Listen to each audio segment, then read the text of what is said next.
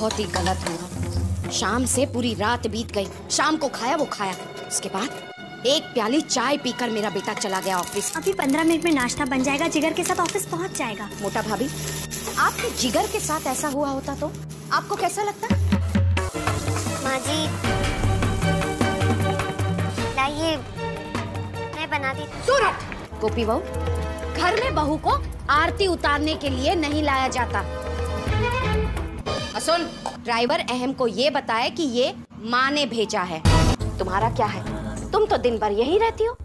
कभी ये मुँह में डाल दिया कभी वो चीज़ खा ली नाश्ते के लिए बुलाने आई। नाश्ता? हाँ। हाँ चलो चलो मुझे बहुत भूख लग रही है चलो। माँ जी। कोकिला ये सब क्या है?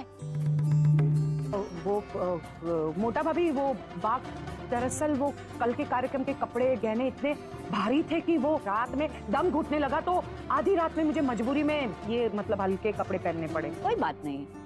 अब नाश्ता शुरू करें। सब लोगों के लिए नाश्ता ना मैंने बनाया। ये लीजिए गर्मा गर्म पराठा खाइए। माँ जी।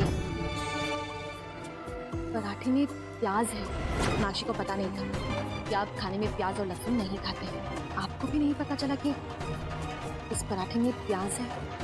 मेरा सारे आप जो खाना खाएँगी मैं भी वही खाना खाऊँगी। अरे वाह! करेला नु शाक कोकिला के लिए। वेवान जी ये आपने बहुत अच्छा किया जो करेले की सब्ज़ी बना दी कोकिला के लिए। करेला वाकई में डायबिटीज़ के लिए बहुत लाभदायक होता है।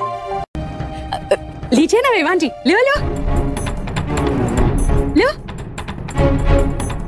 कोकिला हम जो कुछ भी कर रहे हैं वो तुम्हारी भलाई के लिए तुम्हारी सेहत के लिए कर रहे हैं। देखो, थोड़ी सी परहेजी करोगी तो तुम्हारा डायबिटीज़ शुगर कंट्रोल में आ जाएगा। कोकिला, फ़िलहाल के लिए सारी स्ट्रेस सारी चिंता, सब कुछ छोड़ो बस सिर्फ़ और सिर्फ़ अपनी सेहत पर ध्यान दो। ठीक है, ये सब्ज़ी मैं खा लूँगी।